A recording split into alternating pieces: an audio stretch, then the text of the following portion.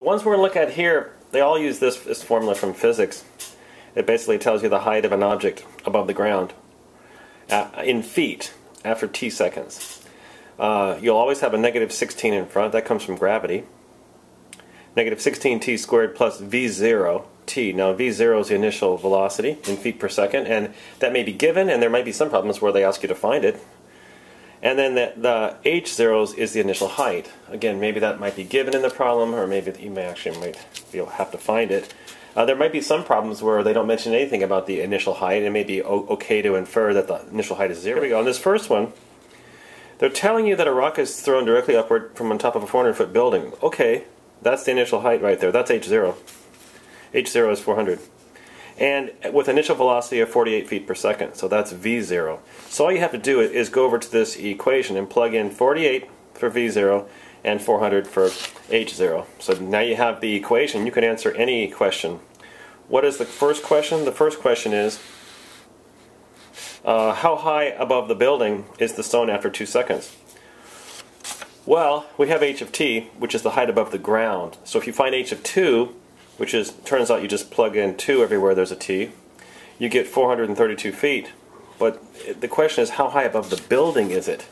So you would have to subtract 400 from that, right? The answer is 32 feet above the building. That's pretty sneaky, isn't it? Second question is, what is the maximum height? And they mean the maximum height above the ground. This is a question about the vertex. So if, if you know the if you know the formula for the for, uh, for the function, the vertex is uh, negative b over 2a. Now be careful here. Negative b over 2a is going to tell you the time when it reaches the maximum height. This actually asks you to find the maximum height. So once you compute negative b over 2a, you're going to have to plug that into h of t, aren't you? Alright, so a is negative 16, b is 48, c is 400. Again, when you, when, you, when you compute negative b over 2a, that's the time when it reaches the maximum height. You'd now have to plug that into your, into your um, height function. You plug in h of uh, one and a half, and you turn up, um, you get 436 feet. How about this one? How long is it? In, how long is is the uh, rock in the air? Well, that's a sneaky way of saying when does it hit the ground. So you'd set this equal to zero. Set set the equation equal to zero and solve for t. Looks like the quadratic form is going to be helpful. Here's a piece of advice to make your life a little simpler, notice that 16 goes into everything, so I'm going to divide everything by negative 16. You, you can do that. It doesn't change the, uh, the zeros. If you, if you divide both sides by negative 16, you get this. Throw this into the quadratic formula. You get um, a is 1, b is negative 3, c is negative 25. So inside the square root, I think you get 9 plus 100. So you get 109 inside the square root. Anyway, so it's going to have two solutions. However, one of them doesn't really make makes sense. If you look at 3 plus square root of 9 over 2, uh, that becomes about 6.7 se seconds. But if you look at 3 minus square root of 109 over 2, that becomes negative 3.7. So we're, we're going to rule this, this one out. It doesn't make sense in this problem. Uh, same formula. And this next one, um, it says an object is projected directly up in the air and lands 12 seconds later. It almost seems like they don't tell you enough information, I think. But what is the initial height? It doesn't mention anything about the initial height, so let's just assume it's zero. Let's assume that it's that it's being um, uh, projected straight up from, from ground level, because there's no, no reason to think other otherwise. So in that case, the formula, at least what we can gather so far, is h of t is negative 16t squared plus v0t. So the question is, the first question is, what is the initial velocity? Okay, well, uh, all they tell us is that h of 12 is 0. So let's, let's use that fact. h of 12 is 0. All you have to do is plug in 12 for t. The whole thing should equal 0. So 0 equals this function evaluated at 12. Notice you get an equation involving v0. So v0 turns out to be 192 feet per second. Pretty cool. Second question, what is the maximum height? Well, you under, understand, of course, now that we know v0, we know everything there is to know about this function. The maximum height, you would um, make sure you understand what's going on here. The maximum height is actually the second coordinate of the vertex. We're going to find t as negative b over 2a, which is 6 seconds, and then we're going to plug that into the function to actually find the maximum height, which is 576 feet. Okay, like I said, these are kind of sneaky. Try, try this one. See if you can do this one. A stone is dropped into a well and hits hits the water 8 seconds later. The question is how deep is the well? See if you can do that. Make sure you draw a picture on these. This is what's going on. Uh, you don't know the initial height. If, if you let h0, that, that's that's the uh, question mark we have here. But it says dropped. Did, did you did you pick up on that? Drop means v0 is zero. So the question is, what is h0? And we are given the fact that h of 8 equals zero. So all you have to do is plug in 8 into this formula and set, set the whole thing equal to zero, so we can solve for h0. You get 1,024 feet. Nice. We're using the same formula. This one, I made this one up. Can you tell?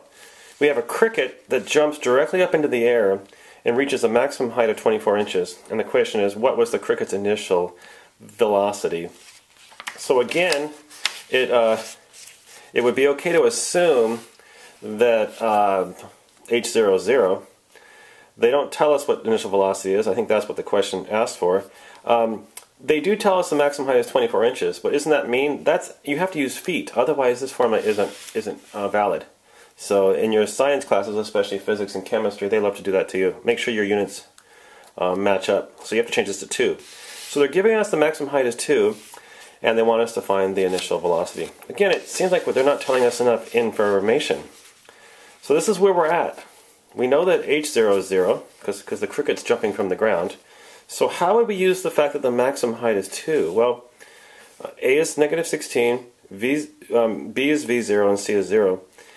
Um, the time that it reaches the maximum height is negative b over 2a, which is which is, turns out to be v0 over 32. What we want to do here is find h of this number, right? In terms of the ver vertex, this is this this is the t coordinate of the vertex. We want to find h of this. So you know that h of this uh, uh h of this is is the maximum height. We also know that that's equal to 2. So we're, we're going to use this fact. It says the maximum height is 2, so h of v0 over 32 has to equal 2. Plug in, this is where it gets kind of messy, plug it, plug this into, into, the, into the function. Remember the function is right here. Plug in, wherever there's a t, plug in v0 over 32. So you get this, and set it equal to 2. And you get this. Now I'm going to I'm to solve this equation by clearing the fractions. Multiply both sides by 32 squared. So this becomes negative 16v0 squared, this becomes 32v0 squared, and this becomes 2 times 32 squared. Um, this is one of those times where it's better not to sim simplify too much. These can be combined though. When, when you combine these two terms you get 16v0 squared. When you divide by 16 you get this. So the last step is to is to um, take the square root of both both sides. What's the square root of 32 squared? Isn't it 32? And what's the square root of 16? Isn't it 4? So what you end up with is that V0 equals 32 uh, square root of 2 over 4, which is 8 uh, square root of 2 feet per second. Pretty nice, huh? Okay, we have another minute left, so let's see if we can use our graphing calculator to check our answer. So we got that V0 is 8 square root of 2. And that makes the function h of t equaling negative 16t squared plus 8 square root of 2t. So let's see on the graphing calculator, if you enter the function h of t, or let's just enter y1 equal um, negative 16x squared plus 8 squared of 2x, and let's uh, let's let's let's use the window 0 to 1 on x and 0 to 3 on y. So, so the graph looks looks kind of like this. Let's let's let, us let us find that vertex. Remember how to do that? Second calc. Go down to maximum. Hit enter. And then we have to get to the left of it. Hit enter. Get to the right of it with the arrow key. Hit enter. Now get to the middle and hit enter. And what you end up with is the y coordinate is 2, which it should be. Remember the cricket jumps 2 feet high. And this uh, t coordinate actually is 0.353. Now what does that 0.353 mean? That's equal to negative b over 2a, right? So that, that, that should equal v0 over, over 32. So if you take 8 square root of 2, let's, let's see if that's right. If you take 8 square root of 2, 8 times the square root of 2, and you uh, divide that by 32, there you go you get uh, 0.353. All right, we got to go. Bye-bye.